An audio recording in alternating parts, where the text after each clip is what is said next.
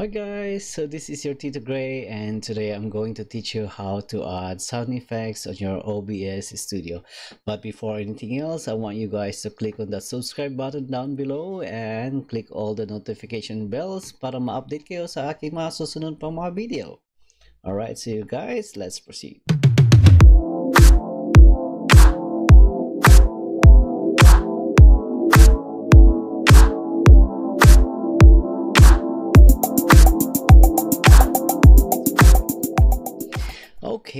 So today I'm going to teach you how to add sound effects on your OBS studio. Okay. All right. Okay guys, so andito na tayo sa ating OBS. Okay. So sa OBS mga kaibigan ay uh, uh, like what I told you guys before in my previous video you guys can create your scenes your sources you have your sources there and your controls or your settings. Okay so today like I said tuturuan ko kayo kung paano gumamit ng or gumawa or mag-upload ng sound effects sa inyong uh, OBS so again YouTube is the best source for everything. So punta tayo sa YouTube. So dalawa lang gagamitin natin. YouTube and your downloader which is ang ginagamit ko is and save from .net and save from .net yan so ito lang siya Okay, and save from .net. So yan lang siya, okay? So punta tayo sa YouTube. Type niyo dyan, funny sound effects. Funny sound effects. Okay, so maghanap tayo ha. Let's say si Coffin Dance. Okay. Now, I don't wanna do that kasi ano na siya, uh, anong tawag dito? Copyrighted na siya. Uh, si no no no si no no no.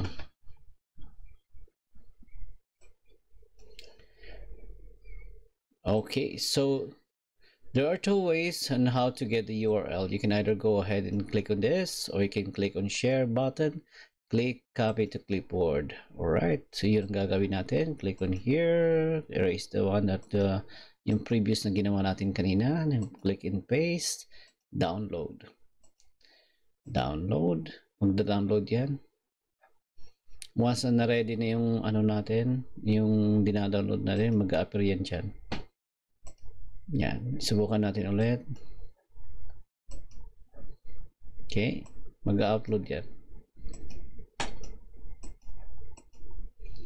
Your video is ready. Download HT or something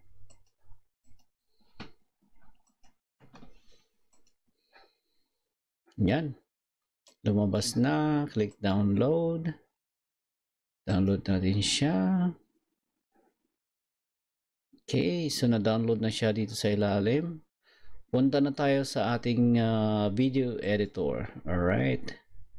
So, meron tayong preloaded dyan. Click import. Ang ginagamit ko is Filmora 9 but you guys can use uh, any kind of downloader na or video editor na gusto nyong gamitin. But for this time mag-focus tayo sa Filmora 9 so click on that on that and add. Click on the video detach audio. Click on the video again one more time. Just the video part delete. Okay so masyadong mahaba to di ba po? So kailangan natin siyang i-trim okay? I-trim natin siya click mo lang yan dyan. Click. Trim erase. Yan. Maliit lang siya. No, para ano uh, hindi siya masyadong mahaba. So let's say for example ito lang gagamitin natin. Yun na. Let's see. Ho ho ho. Yung gano'n lang. Okay. Or pwede mo naman siyang habaan kung gusto mo. No no no. Yes. Yan yan. So, ganun lang kadali. Alright. So, export natin siya. MP3. no no no. Kahit hindi naman siya no no no. Then save to that's very important. Ilagay nyo siya kung saan nyo gusto nyo i-save then export. It's already been exported. Close close close. Minimize.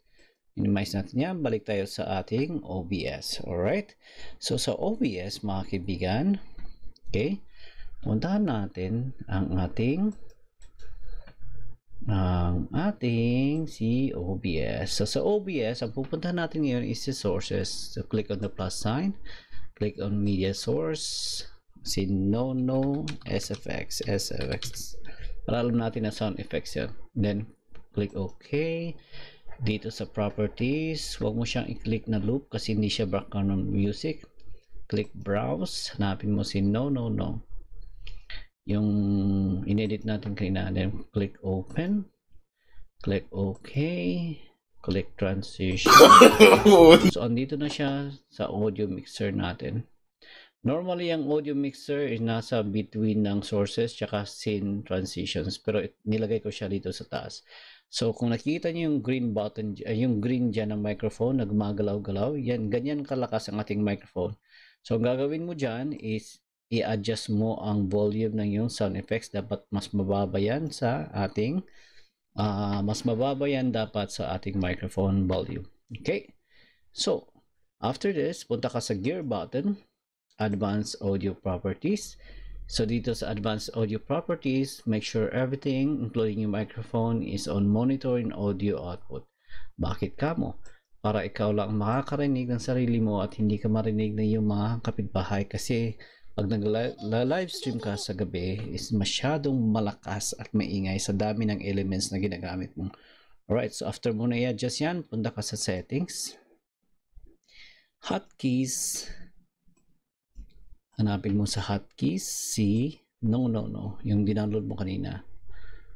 Okay, si download mo na no no no, letter N. So dito sa may settings ng hotkeys, wala kang ibang pupuntahan kundi ang restart i-program natin siya sa function key 12 press apply okay. Transition then let's try it. Press F12 there you go. Naka-program na siya sa function keys F12 okay let's try it one more time. Okay let's go ahead again to sources. Click assign media source. Uh, Yahoo Yahoo SFX. Right, once again dito, walang loop. Browse lang tayo diretso. Kunin natin yung ating ginawa. The sound effects and click open. Then click OK. Then transition. Yahoo! Adjust ang volume. Dapat mas mababa sa ating microphone. Then go to click uh, gear button advanced audio properties. Everything should be on monitor and output para ikaw lang nakakarinig. Yan. Kasi bawal i sabihin sa kapitbahay. And after that go to settings. Ganun lang kasimple yan. Go to hotkeys settings. Ibaba mo ng konti yan para makita mo ang ginagawa mo. Hanapin mo si Yahoo SFX dito once again wala kang ibang pupuntahan kundi ang restart So sa restart, nakaprogram si F12 as a uh, no no no. Ilagay natin si F function 8. Ayan. Si function 8 siya si Yahoo SFX. Then apply and okay. I-try natin. Function 8. Yahoo! Perfect. Function 12. function 8. Yahoo! Perfect. So ganun lang. So, noon, sinabi ko na sa inyo na ang dito sa my preview part is yung makeup room natin na tinatawag. Dito sa program, ito yung live na lumalabas sa inyong mga live streaming. So, again guys, thank you for staying with me and I hope you guys learned something today.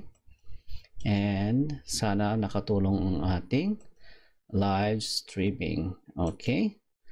And uh, to those who haven't add uh, Tito Gray yet, go ahead and add your Tito Gray para sa susunod pa nating mga video at magtuturoan tayo kung paano gamitin ang OBS. Thank you and have a good day. Bye-bye now. Hi! Kung nagustuhan mo ang iyong napanood na video, please click subscribe and click all the notification bells para ma-update ka pa sa mga susunod ko pang mga video. Thank you and have a good day.